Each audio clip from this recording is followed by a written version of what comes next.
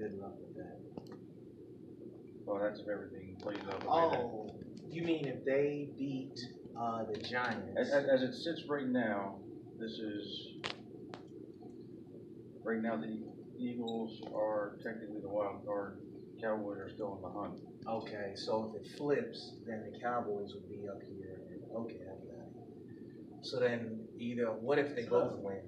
Then the Eagles still stay Eagles where they still are? where they are. Because they finish out the season, the NFC East winners, and that's that, okay, wow, So you have that's huge.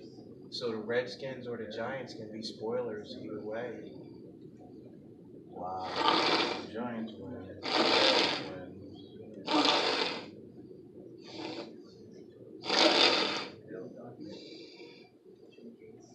Dallas at home against Seattle,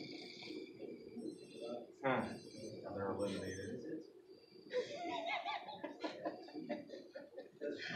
And whoever has to play Seattle, um, the thing is though, Dallas would be at home, so they might stand a better chance of winning against Seattle at home.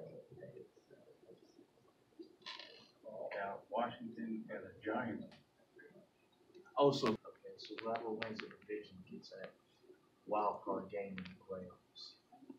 Okay.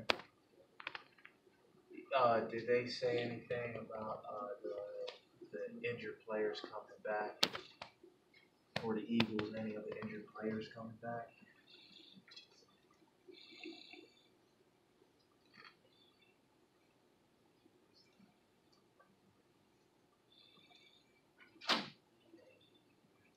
Pittsburgh.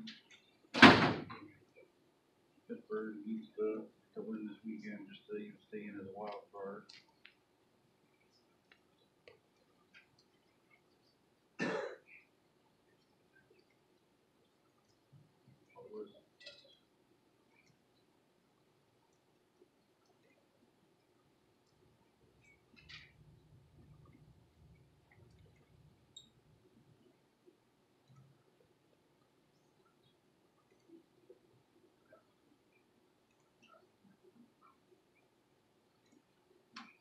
Yeah. Who does Pittsburgh play? Ravens. Oh. But they're playing their second, third string, uh, And then, but, you know, just be fresh meat for the wild card game, maybe they can beat up on somebody else. If I was looking at it that way, honestly, who would Pittsburgh play if they get in? where it sits right now, Buffalo wins, Kansas City